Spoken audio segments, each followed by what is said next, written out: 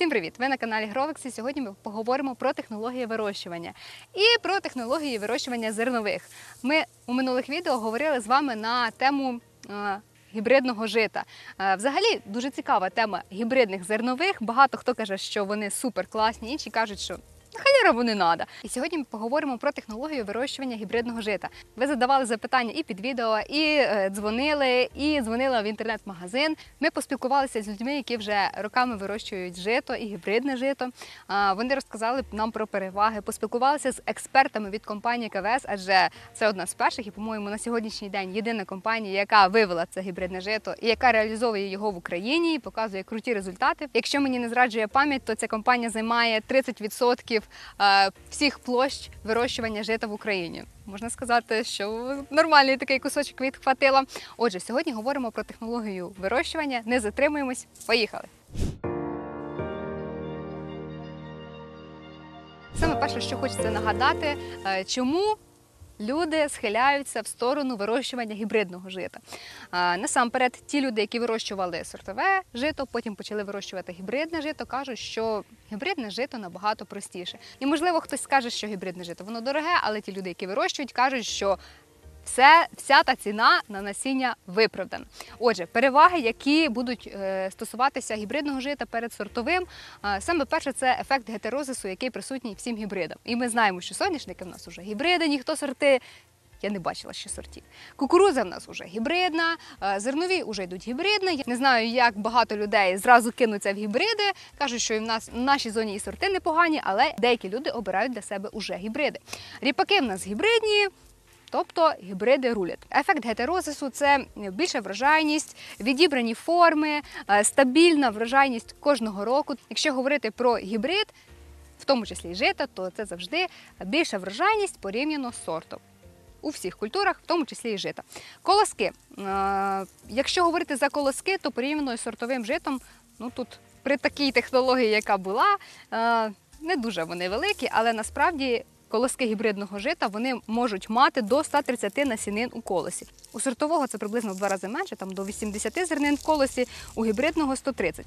А якщо говорити за врожайність, то спілкувалися з людьми, які вирощували кілька років жито, і вони кажуть, до речі, по-моєму, було жито КВС. Паула, чи як воно називалося, той гібрид, і він якогось року дав. Вони намолотили 10 тонн з гектара. Проблема була, куди його діти, але 10 тонн, і він казав, що ще тонн 3-4 точно лишилися в полі у вигляді ну, втрат врожаю. Е, Тобто гібридне жито це завжди вища врожайність, стабільна врожайність і більший колос. Крім кількості врожаю, також можна сказати, що у гібридного жита це завжди вищий клас. Е, Я думала в міру свого незнання, що жито це все фураж, він йде на корм, та ладно, йде і на е, хлібопекарські, звичайно. Цілі через те, що хліб ми житній любимо. От, е, якщо говорити за жито, то зазначаю, що гібридне жито це завжди перший другий клас. Його завжди хочуть брати е, борошномельні організації, мукомоли, пекарні. Це завжди перевага стоїть у гібридного жита. Його заберуть швидше, ніж сортове. Бо сортове зазвичай це фураж. Хочеться відмітити, що гібридне жито, як ми бачимо, це завжди вирівняний посів. Тут вирівняний посів.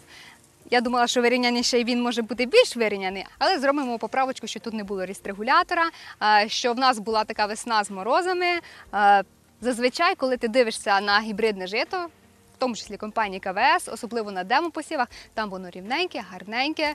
Ну, хто вирощував, хто той знає. Сортове воно може мати кілька ярусів, е, і одні яруси вони вже достигли, інші вони ще вологі, тому в цьому теж може бути якась проблемка. До речі, люди, які задумуються про F2 у гібридного жита.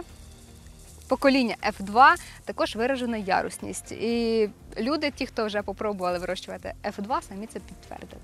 І як я вже сказала, якщо ми говоримо, то ще одна перевага це стабільний врожай з року в рік. Гібрид покоління F1 це завжди стабільно. Да, бувають якісь роки з виключенням, але в основному це стабільність кожного року.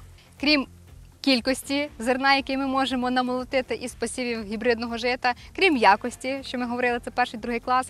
Нам завжди цікава економіка, коли ми рахуємо, наскільки нам вигідніше вирощувати гібридне жито. Отже, в середньому, в середньому це зазвичай приблизно 30% уже прибуток. при вирощуванні гібридного жита порівняно із пшеницею і ячменем тільки в технології вирощування. Адже якщо ми говоримо, то це саме перше. Менша кількість внесених добрив. Звичайно, ті господарства, які сьогодні е, працюють більш прогресивно, вони розуміють, що добрива потрібно обирати тільки під запланований врожай з метою оцінки своєї ґрунтово-кліматичної зони, погодних умов, але поле де внесено всього на всього 100 кг нітрамофоски і трошки азоту весною. Я вважаю, що це не технологія, яка може бути присутня третьому тисячоліттю, але люди так вирощують і результат в них непоганий. Якщо говорити за економіку, то а, насамперед ви економите на добривах, які ви маєте внести під е, запланований врожай. Жито воно менш вибагливіше, але я не кажу, що це основне, на чому потрібно економити. На сьогоднішній день інтенсивні технології. На сьогоднішній день ми всі підходимо з розумом при виборі того чи іншого добрива, і ми все рахуємо. А, також, якщо говорити, то система захисту на житі, ми поговоримо більш детально про нього пізніше. Вона більш простіша. От на даному полі взагалі система захисту була відсутня, але як ми бачимо, дуже гарний врожай. І економлячи на фунгіцидах, гербіцидах, інсектицидах, ми вже виграємо на 30% менше затрат на житі, тому ми на 30% вже залишаємося в плюсі порівняно із е, зерновими пшеницею ячменем. Але це плюс чи мінус. Ми повинні розуміти, що жито це культура внутрішнього ринку України. Тобто ми її не експортуємо, вона вся в нас в Україні і залишається, і ми її реалізовуємо, переробляємо. Тому е, ціна на нього нестабільна. В деякі роки вона вища, ніж на пшеницю ячмінь, а в деякі роки вона може бути навіть трошки нижчою. Нічого не поробиш.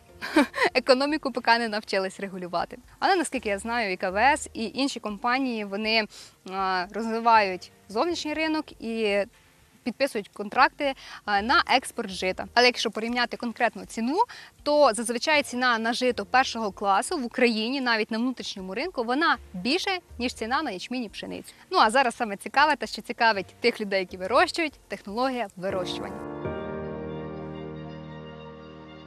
Почнемо із попередників. Озиме жито невибагливе. До попередників, звичайно, підходять всі, що для зернової озимої групи. Е, Горох хороший попередник. Ріпак хороший попередник. Соя, навіть соняшник через те, що жито в нього потужна коренева система, воно все, що треба собі достане. На даному полі жито по житі четвертий рік. Хто міг подумати, да? Хоча е, зерновий попередник для зернових ми знаємо, що це не найкраще рішення, краще обминати, але жито по житі е, завдяки його розвинутій кореневій системі, завдяки його невибагливості може бути. Що стосується обробітків ґрунту, та сама ситуація, що й для зернових, але воно взагалі не вибагливе. Я знаю, що сіють жито по соняшнику, там взагалі одна дісковка і пішли сіяти.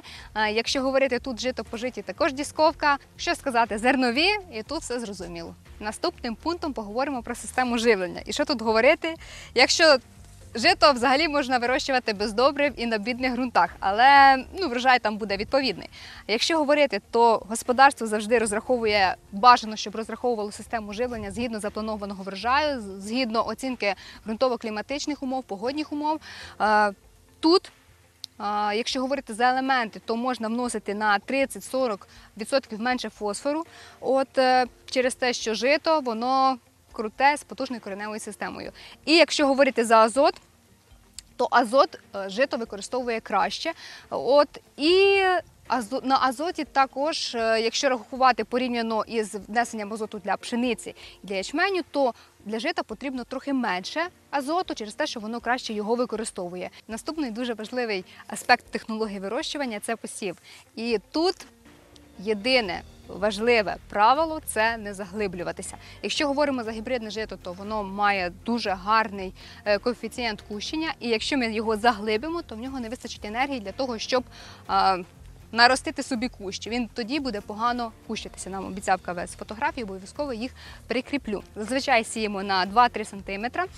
Бажано не заглиблюватися, але тут вже потрібно дивитися на умови. Якщо ми розуміємо, що на 2-3 см вологи немає, а ґрунтова волога на глибині 4 см, то можна трошки заглиблюватись. Але на 8 ніхто не рекомендує. Ні ті люди, які вирощували жито в своїх господарствах, ні ті люди, які реалізовують такий крутий продукт, як гібридне жито. КВС також не рекомендує заглиблюватися при посіві. Зараз ми знаходимося у степовій зоні. Якщо говорити за терміни посіву гібридного жита, це зазвичай е, перша, друга, ладно. В деяких зонах друга, третя, тиката вересня. Зазвичай на 5-10 днів раніше, ніж пшеницю. І якщо говорити, то е, за осінній період е, вегетація приблизно складає 40-45 днів. Отже, для від того від моменту посіву до моменту входу в зиму житу потрібно 40-45 днів. Ну, мені здається, це і для пшениці, і для ячменю. Це також стосується. Мінімальна кількість приблизно днів це 30-35. Це так рекомендує КВС. Але люди казали, що в них жито зимувало в фазі шила і дало шикарний врожай. Я не можу вам цього не можна цього казати, бо люди почнуть сіяти його дуже пізно. Але ж була ситуація. Наступним етапом іде протруювання. І жито, так як це зернова культура, для нього підійдуть всі протруйники, як і для пшениці ячменю. Всі для зернових. Якщо говорити за гібридне жито від компанії КВС, то е, їхнє насіння вже протруєне. Кінто плюс і гаучо плюс. Я вважаю, що це супер. е, Пакет для протруювання зернових. Круче може бути ще тільки сестіва. До речі, сестівою деякі гібриди в них також дотруєні. Господарство сіє таке жито і більше нічого не вносить. Отак. Отже, ми вже жито протравили, посіяли. Е, Давайте поговоримо в загальному, які е, роботи, до чого зводяться всі роботи на озимому житі восени. Саме перше, ми повинні зрозуміти, що є проблема шкідників. Я думаю, що ви завжди контролюєте таких шкідників, наприклад, як совка або жужелиця. Це ті шкідники, які підгризають е, ваші рослини, там під вечір вночі і конкретно так про- проріджують е, ваш посів. Коли ми говоримо за гібридне жито, то ми його висіваємо дві посівних одиниці. От е, це приблизно 2 мільйони.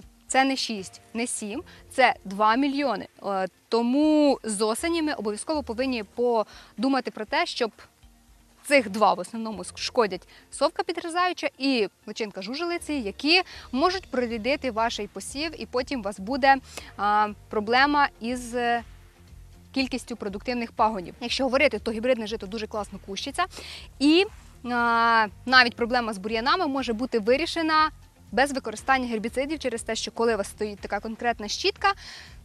Весною, наприклад, то там вже бур'яни ніякі не пролізуть. Ми бачимо, що проліз де-не-де осот, але ми розуміємо, що це багаторічні бур'яни, вони такі живучі. А однорічники питання може бути вирішене. Е, Тому з осені е, ми повинні сформувати достатню кількість пагонів, щоб воно гарно розкущилось і щоб ніякі шкідники на початкових етапах е, не підкоригували вашу густоту рослин. Ми розуміємо, що протруйник Гаучу Плюс це завжди 4-5 неділь.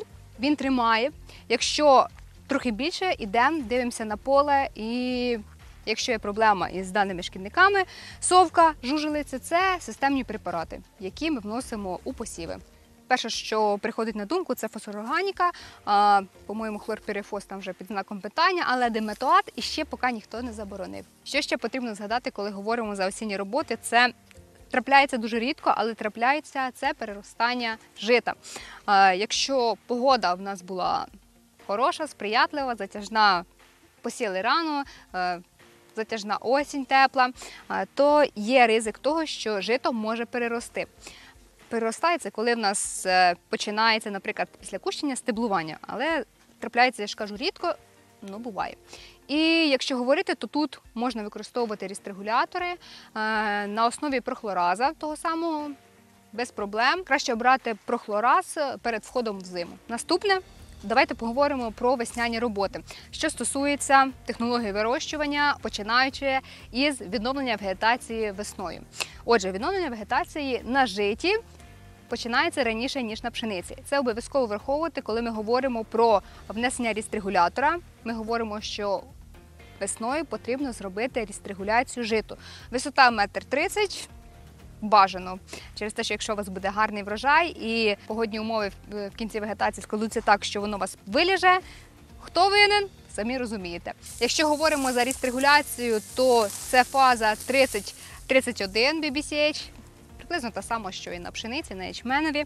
От і вносимо дуже непогано дешевий простий спосіб це хлормекват хлорид. На житу працює ідеально. Е, Норма витрати від літра до півтори, в залежності від погодних умов, від е, стану вашого жита, від посівів. Враховуючи всі ці фактори, ми обираємо норму. І, як я сказала, дивимося через те, що фаза на житі наступає раніше, ніж на пшениці. Тому, щоб не, не провтикати фазу, бо приїхали на пшеницю, внесли ріст регулятор, приїхали на жито, а фаза пройшла, це, звичайно, буде погано через те, що ріст регулятором, хлормекватом робити в такій вже фазі запізнілій не потрібно, вжаність буде нижча. І, звичайно, дивимося на фазу, коли вносимо гормональні ЗЗР. Прийму ту саму через те, що вони вносяться до 32-ї фази BBCH, пізніше вони вже не вносяться. Багато таких препаратів, їх всі можна використовувати на житі, але я ж кажу, що на житі фаза розвитку настає раніше, ніж на пшениці і на ячмені, тому на регулятор і на гербіцид обов'язково зважаємо. Гербіциди рідко використовуються на житі, але якщо є в тому потреба, то можна використовувати всі ті, що і на пшениці, і на ячменеві. Якщо говоримо, є гербіциди, які гормональні, вони використовуються до 31-ї фази BCH, а є такі, що можна вносити і до флагового листка. Тому ті, що можна до флагового, вносимо до флагового, ті, що гормональні, вносимо до 31-ї BBCH. Що стосується системи живлення весною, то вона зводиться, так як і на всіх зернових, у внесенні азоту. Отже, азот ми вносимо, якщо дозволяє погода, два рази по 30-50 кг азоту у вигляді селітра чи сульфату амонію ви обираєте в залежності від вашого стану, від Дивимось, коли обираємо добре, обов'язково дивимося на культуру, на ґрунт, на погодні умови. А, якщо ми знаходимося в степу, і ми знаємо, що зараз після зими в нас волога є, потім її вже не буде. Є такі е, чулька така є, що буде скрутно з вологою у вегетаційний сезон, то можна вносити і рекомендуємо. Мабуть, я вам рекомендую, не знаю, чи книжка так пише, вносити один раз азот 50-60 кг в діючій речовині через те, що коли вологи немає, то вносити азот. Це проблема, бо концентрація ґрунтового розчину підвищується. Ви можете як підпалити, так і ще наробити собі проблем. Захист про гербіцид поговорили. Якщо потрібно, то все ще для зернової групи. Е, Про фунгіцид не обов'язково, але компанія-виробник каже, що потрібен. На житі є в основному дві таких проблеми, яка зустрічається в період вегетації. Перше це бура листкова іржа, друга це ринхоспоріоз. Це ті хвороби, які можуть бути присутні і можуть підкосити ваш врожай жита. Всі скажуть про ріжки жита. Ну, що я вам хочу сказати, гібридне жито, я пролазила його туди-сюди, туди-сюди. Видно, як поцарапалася, але е, ріжків не знайшла. Може, ще заїдемо з другого краю, там якби низинка, може були більш несприятливі умови, може вони там десь вилізуть, але тут не знайшла. Тут ріжок немає, тому говоримо про захист від бурої листкової іржи і від ринхоспоріозу, якщо потрібно. І вносимо фунгіцид у фазу Т2, це е, починаючи від виходу прапорцевого листка і закінчуючи початком цвітіння. У цвітіння нічого не вносимо через те, що жито це перех- перехресна запильна культура, щоб не повпливати на врожай. Весь фунгіцид зводимо у внесенню цієї фази від початку виходу прапорцевого листка до початку цвітіння. І зазвичай е, вносять фунгіцид, як мені кажуть люди, оце прийшов на поле, побачив, появилися перші пустулки іржі, все, значить потрібно якийсь фунгіцид обрати. Який е, сюди підійде будь-який з азольної групи, наприклад, той самий метконазол. Мені подобається, як працює задіюча речовина. У фазу Т1 і Т3 не працюємо. В Т3, щоб не позбивати пилок, коли цвіте жито. І проблема шкідників на житі вона а, не дуже часта, але пазушний трипс він присутній. І якщо говорити, то з цим шкідником ми боремося з системними препаратами, наприклад, той самий Ві-58 на основі диметуату або аналоги його. Можна використовувати енджіо у фазу до виходу колоса. Можна, наприклад, від прапорцевого листка. Якщо ви вже розірвали те стебло, подивились, що є у вас там пазушний трипс, то до виходу колоса ви можете спрацювати з системними препаратами, якщо в тому є потреба. І все на цьому закінчується вся технологія вирощування жита. Це така ідеальна. е, Інтенсивна технологія вирощування жита. Збір врожаю, як ви розумієте, аналогічно для всіх зернових. Пряме комбайнування, намолотили собі по 10 тонн, вуаля, щасливі. І збирання аналогічно всім зерновим, наприклад, прямим комбайнуванням, як ми то бачимо, далі починають його збирати. Або, якщо є в тому потреба, можна роздільним. Ну, дуже рідко це трапляється, в основному пряме комбайнування. Я бажаю, щоб ви намолотили як мінімум по 10 тонн і були щасливі від гарного врожаю, ще по гарній ціні його збули і зацінили цю культуру. Побувавши на таких полях, я й сама задумуюсь про вирощування озимого жита, чого б ні. Я вважаю, хто хоче, той може попробувати. Можливо, навіть на нашому, якщо буде демо, якщо ні, то в товарних посівах обов'язково потрібно буде спробувати його. Технологія проста, і я думаю, що тут немає нічого складного.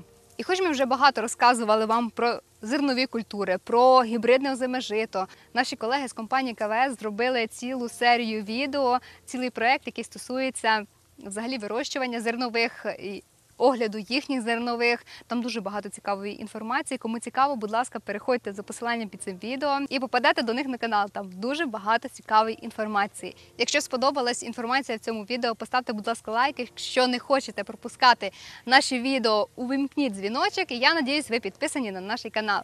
Вам всім гарних врожаїв. Люблю, цілую, Гравекс!